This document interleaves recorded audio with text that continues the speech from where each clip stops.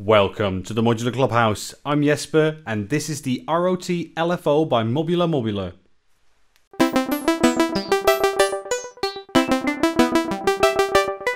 So, as the ROT LFO's name is suggesting, it is indeed an LFO.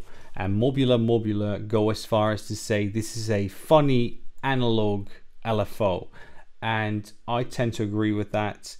And I would love to show everyone why I think that is. Um, on the first glance, it looks like a regular LFO. It is quite small. It's it'll gonna it's gonna fit in your rack, no problems there whatsoever. And it's uh, one of the features I love is the um, the double LEDs that they've included to indicate where you are in the actual cycle. So keep in mind that this LFO won't go into audio ranges, uh, but it can be a great modulation, well, workhorse if you want uh, that can truly achieve what you might need. So that being said, I would say let's uh, dive right in. So uh, here we go. So there we go. Just have a quick look at the ROT LFO by Mobula Mobular, which is probably the best name for a modular company out there. Um, what I want to do is I just want to show you what this module can do, how you can use it, and of course what kind of wave shapes it actually has. So uh, without further ado, let's just dive right in. So I'm going to be using VCV Rack and the built-in scope, and I'm going to be using the Expert Sleepers ES1 to actually well show you what we have here. So I'm just going to grab one of my cables and I'm just going to connect that to the pointy output. So I've got it set to even and normal. And if I connect that to the scope that I have there, you'll start to see that we get a, well, a pretty straightforward triangle wave. It's extremely sharp, no problems there whatsoever. But if I then turn it to slow and if I turn the rate up a bit, you'll see that this is a bit of a smushed triangle wave. And you can do great things with this because it's it's it's sharper. It is um, probably something that you can use more as a trigger or really have something really gnarly if you if you pass this through to a um, uh, to an envelope or something like that or if you use this on a VCA you can do great things with this so what I'm going to do is I'm going to grab this output and I'm going to put that into the, well, the actual VCA on the Z2040. And let's just have a quick listen as to, well, how this sounds. So I'm going to grab a drone from the graphic VCO and I'm going to patch that through the Z2040 and grab the output and put that in my mixer out of that and let's see what we get.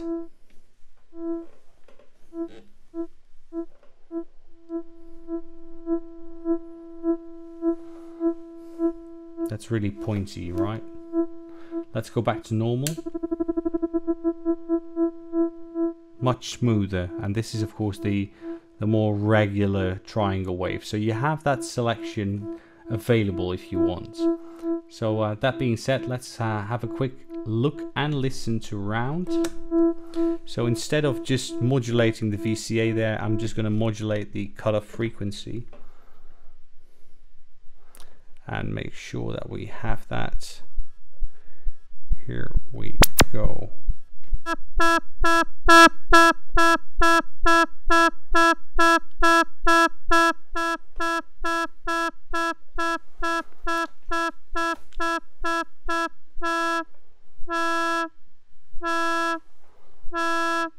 So perfect sine wave there.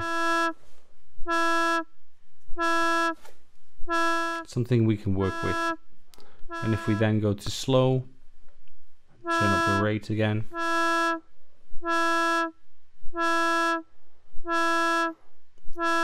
You see the same thing happen to the sine wave. It's a bit more pointy. It's a bit smushed, but that's no problem there whatsoever. But when things really get fun is if you flip the switch from even to tilt.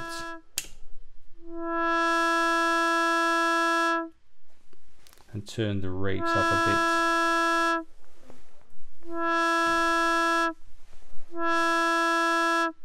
So that is an LFO shape I've never seen before and I love it. You can do so many beautiful things with this. As you already hear, I'm now using this to modulate my, my cutoff frequency on the Z2040, but let's play with that a bit and let's just make it a bit more nuanced.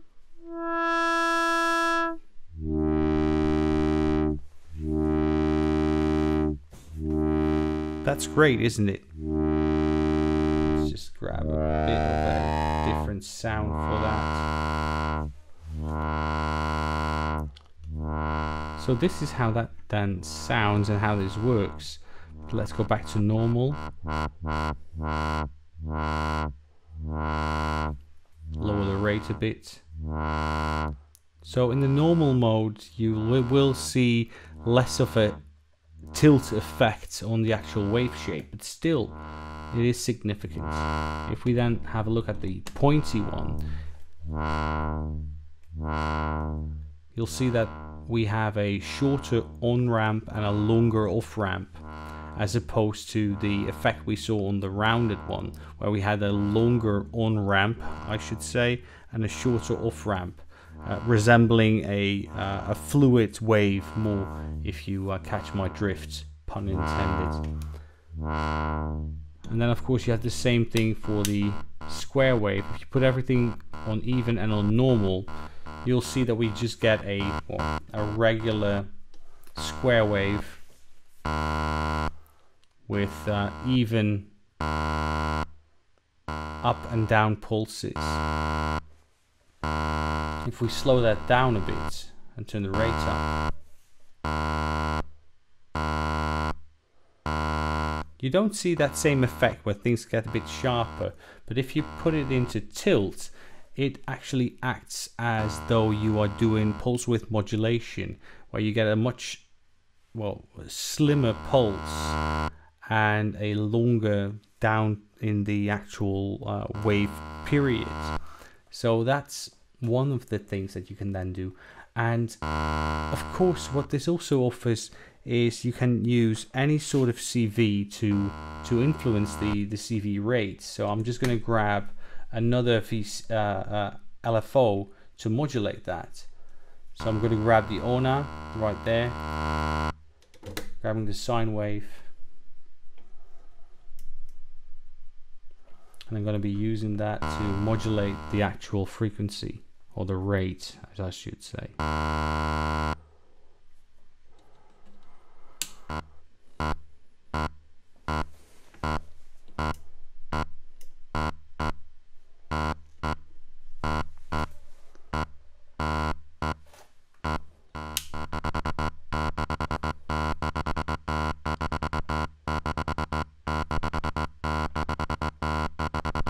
Can do so many great things with just two LFOs.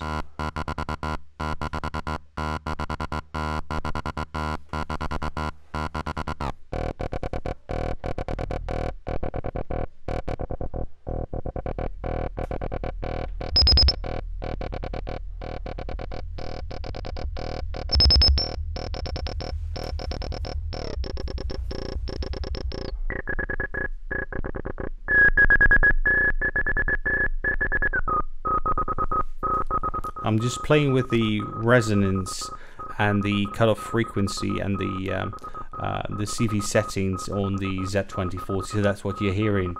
I'm just gonna play around with this and just let you hear what fun you can have with a flexible LFO so is this going to replace all of the LFOs in your system? Hell no but is this going to be one of those great modules you're going to get in your rack and you're going to have way too much fun with? More than you ever expected? Yes, absolutely. Um, this is probably going to be my my LFO, my go-to LFO for a lot of the things that I'm going to be doing, where I want to truly get that punky sound to it. Um, one of the downsides of this LFO is, of course, it does not really go into audio range um, but you can still modulate it with with additional CV. So it's just a fun analog LFO, exactly what Mobula Mobular said it would be. So no, no case of false advertising there. This is absolutely just fun to work with. It's extremely playable. I like the uh, the tilt and the slower functions. I love how they interact and how they influence the wave shape. And you can just do great things with this. So with that being said, I think it's time to go back to the studio and um, let's uh, wrap this up, shall we?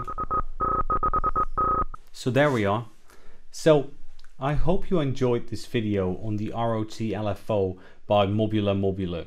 So I do have to thank them for making this episode possible uh, and for actually sponsoring it as well. Um, we will have Gregory Pruden from Mobula Mobular on the Modular Clubhouse Clubhouse meet next week. So that's going to be uh, June 16th of 2021.